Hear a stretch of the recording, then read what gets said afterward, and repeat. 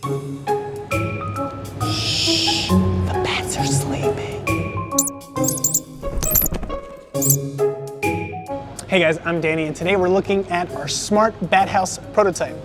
Uh, for those of you that don't know, bats are a hugely important part of our ecosystem and just generally for nature as a whole.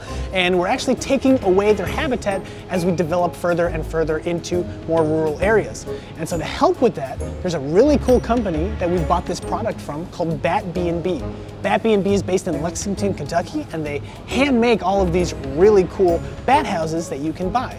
And so when we saw these, we were like, okay, It'd be really cool if we had one of these but made it kind of smart, right? So um, what if you could watch the bats? So we put a little camera in here. We've got a screen just as a prototype for now so that we could see in there. And so ideally, we're gonna mount this outside uh, and see if we can capture any bats. So what we've done here is we've taken a small screen and we've mounted it to the front of here just for prototype purposes. And we've snuck a little camera in here.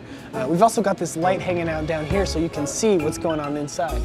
And right now, you can see there are obviously no bats in here right now, but hopefully uh, once we mount this thing outside, we give it some time, maybe we call some bats to come in habitat, we'll see them. We'll see all the bats kind of accumulating in here. Uh, it'll be a really cool way to see them and experience them in a way that we don't get to normally. So for this prototype, we've got this big screen here. Uh, the intent would not be to have that on a finalized product. Maybe the video stream goes to your phone.